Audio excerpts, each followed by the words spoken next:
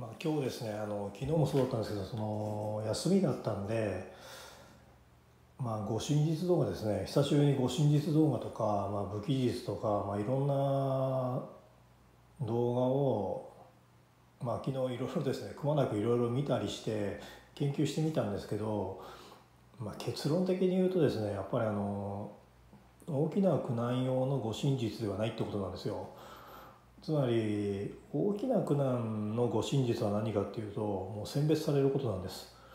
あの確かに鈍器や刃物っていうのは有効な武器です。当然大きな苦難の主流武器は刃物なんでそれは有効な武器っていうのは分かるんですけどもう最あのね選別されないと意味がないってことなんですよ。つまり大きな苦難の護身術は何かって言ったらやっぱりねもう選別されること。もう選別されて初めてその武器が生きるってことなんですよ。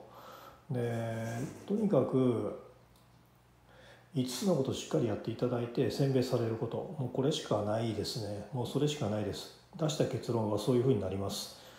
で素晴らしい技術とかその素晴らしい動きまた強い方のね動きとか見てるともうこんな人にかなう人いないんじゃないかっていうことを確かに自分も感じますけどもでも大きな苦難に入った時にじゃあそれが通用するかっていうとね全く別問題なんですよ。結局選別されないと意味がないってことなんです。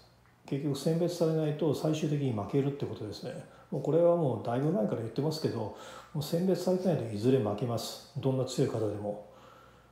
あの最初は勝てるかもしれないですよ。でも結局負けます。でとにかく選別されるっていうことが一つです。そしてあと改めて思ったのがやっぱりこういった自分がですねあの持っていく武器の中で鈍器っていうとこのリーサルウェポンだけなんです。で特殊警部の類っていうのはもう一切持っていかないです。実際武器としては。それがなぜかっていうとやっぱりね鈍器は所詮鈍器なんですよやっぱり。あの確かにこういったもので顔面直突きとかしてしまえば相手死んでしまいます。でもそれができないんでそうするとやっぱり的確に急所つくとかしなきゃいけない。でも実際相手はアドレナリンがバンバン出てる相手に対して鈍器でじゃあどうできるかって言ったらねやっぱりね構えた時に確かに威圧感という部分ではねもうね刃物にかなわないんですよ。実際。こういった刃物を例えばこれと例えば比べた場合やっぱりねこういった長いマシェットみたいなのを構えられるのとこういった鈍器を構えられるのではねあの全然ね威圧感っていうのが違うんです。そう考えるともうね刃物を最初からですねあの出すっていう方が大きな苦難の時に関してはもう有効ってことですね。こういったの構えてで相手が逃げてくれればそれでよしってことなんです。で鈍器の場合はもうねあの構えた時点で戦わなきゃいけないってことなんですよ。とにかく鈍器の場合はもう戦うことが前提です。ただ刃物の場合はもしかしたら戦わなくて済む可能性が高いです。やっぱり相手もやっぱり警戒しますしなかなか踏み込んでくれませんしできればその間に撤退してくれればいいことなんですね。であと例えば見ていて思ったのがね今回例えばこのサイリースプレーですね。サイリースプレーです。このサイリースプレーの有効性っていうのは逃げる時に有効ですね。あのやっぱり護身具として有効です。とにかく自信満々な相手にとって奇襲的にかけることができれば十分逃げるチャンスがあります。ですから非常にサイリスプレーは有効です、まあ、今回ね改めていろんな動画見ててあサイリスプレーやっぱり有効だなと思いましたね。ただこのサイリスプレーも大きな苦難の時には役に立つのは一時だけです。これで乗り切るのは無理です。これはもう動画の中で何回も言ってます。とにかく支流武器は大きなことの時の支流武器は刃物。ってことです。でもその刃物なんですけどもうこれはね何回も言いますけどあの5つのことを実践していただいて選別されること。もうこれがねやっぱり最強なんです。もうそれしかないんです。あの強いとかね弱い。とかねもう関係ないんですよ。そのあと男であるとかね女である。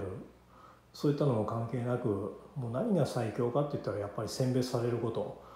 で今日もですねこう天気がね割といいですしあのとてもね大きな苦難などが来るとは思えない方っていうのが多いと思うんですけどでももう確実にですね迫ってきてます。そう考えた時に選別されることとにかく選別されることがね重要です。だから5つのことをしっかりやってください。あので5つのことやる中でこういったねあのある程度の武装という点で刃物を買っていただいてでせん、ね、自分に応じた戦術とあと高次元とのコミュニケーションをしっかりとっていただきたいと思いますね。もうねそれしか助かる方法ないです。あのもうどんなね素晴らしい技術とか体術とか武器とかあっても選別されてなかったらもうダメです。もうはっきり言っておきます。とにかく今やるべきことは5つのことです。5つのことやっていただいてとにかく選別されてください。で志のある方は牧者目指してください。あのまだいけると思います。あのギリギリまだ間に合うと思いますんでぜひですね高みのぞあの目指していただけたらと思いますね。まあ今日は以上ですね。えありがとうございました。